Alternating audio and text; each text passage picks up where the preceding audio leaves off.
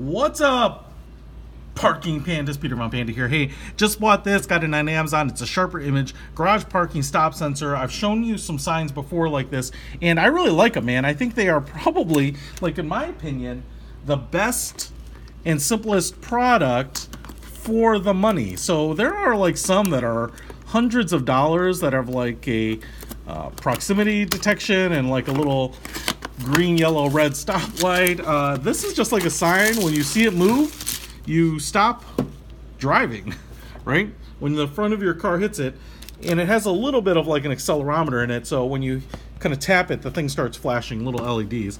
So I thought I'd show it to you. I don't expect to, it because it's sharper image to be much different. Are sharper images even around anymore? Um, I haven't seen them uh, lately, but I used to love going there. And so it's probably just my guess is maybe it's just a rebranded, you know, generic stop sign. But uh, I know as a kid, my father used to take a tennis ball and hang them from a string in the garage, and that was how we just drove in until the tennis ball was touching the windshield, and that worked. And that was pretty cheap, but it was a little ghetto. And then of course, when I was kid, a kid, I'd go out there and swat at it with a tennis racket and probably screwed everything up. But um, here are the components. What we have are uh, these are the connectors and the spring. So what we end up having here, ugh, what do with my knife? There we go. Um, so we have this is is actually a spring and it sits in the base here. You screw it in. Nice big sharper image branded base here, silk screen with sharper image. It's just a plastic, you know, eight inch diameter uh, round container. And it's funny, when I picked up the box, you can hear it.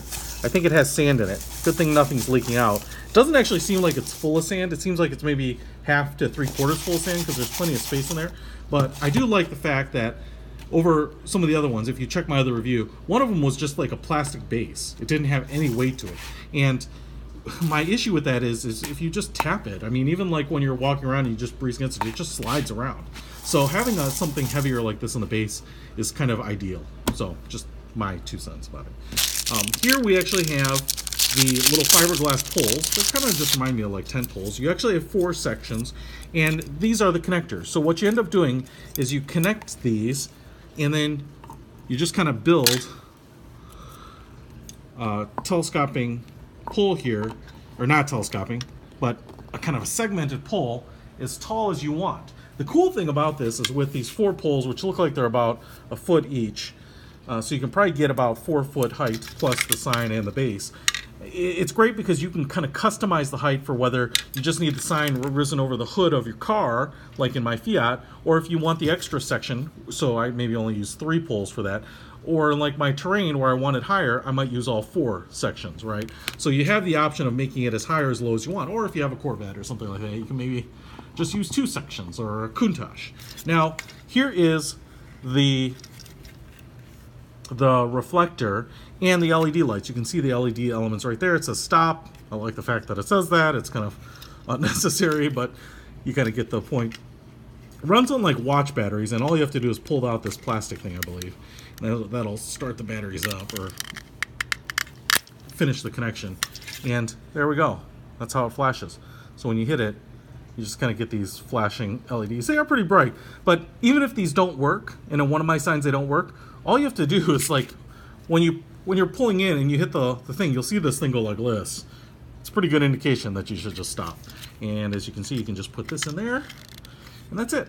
So, uh, and actually I only probably want three sections because car isn't very tall, but there it is. Parking stop sign. I really like these. And I may have said that they're pretty cheap. I got this one for $13 on Amazon. So if you want this uh, or a facsimile, check out my other reviews. But I really like this, particularly the weighted base. Sharp image. Peter Von Panda out.